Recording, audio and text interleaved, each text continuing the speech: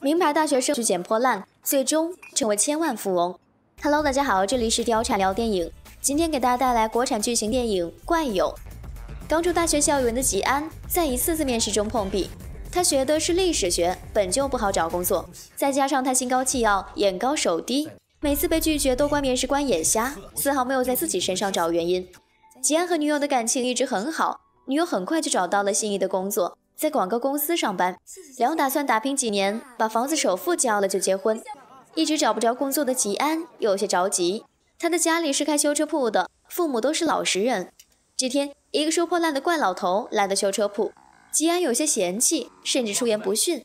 父亲将他教训了一番，并耐心地给怪爷修好了车。父亲告诉吉安，老头是住在附近出了名的独居怪人，大家都叫他怪爷。父亲看他可怜，每次给他补胎时都会少收些。就在父亲给怪爷补胎时，一个富二代扛着古董单车来到店里。古董单车是父母的定情信物，为了哄母亲开心，他愿意出一半高价修理。父亲本想拒绝。要找到原装的车轱辘太难了，可吉安一听到出价这么高，赶紧答应下来，说自己一定会想办法把车轱辘找到的。在一旁的怪爷听到一切，第二天就把车轱辘送了过来。车修好了，富二代交了一万元的报酬。父亲让吉安给怪爷送去一半，怪爷不愿意收，还把吉安赶了出去。父亲觉得不能白白收别人的人情，于是让吉安去买两瓶好酒，换一种方式感谢怪爷。这一来二往的，吉安和怪爷由原本的相看两厌，慢慢的成为了知己好友。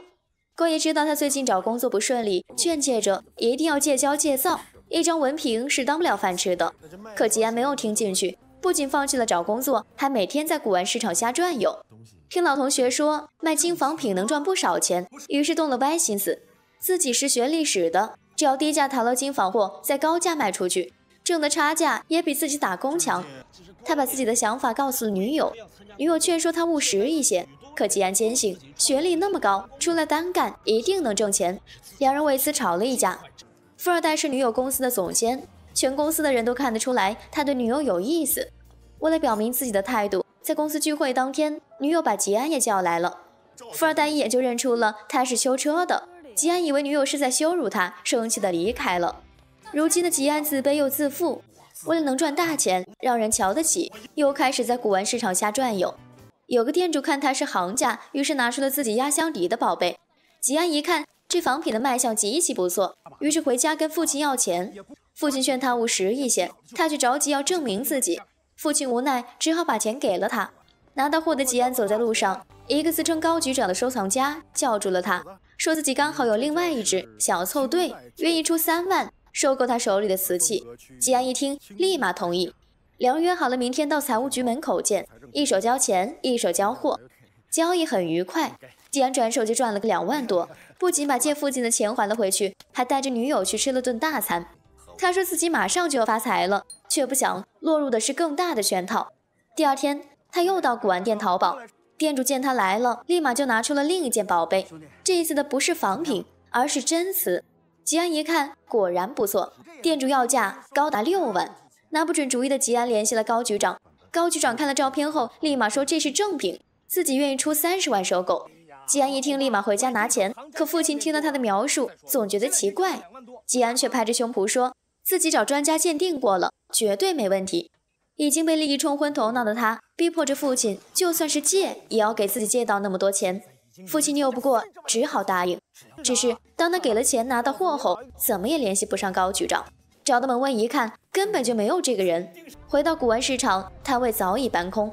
回到家的吉安看着父亲辛苦的模样，不禁觉得羞愧万分。看着女友打来的电话，他也默默挂断。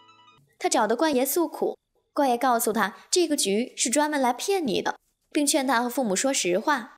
吉安回家将一切告诉了父母，并承诺自己一定会想办法还钱的。父亲没有责怪他，更没有想让他还钱，只想让他记得这个教训。怪爷让他明天开始跟着自己收废品，吉安答应了。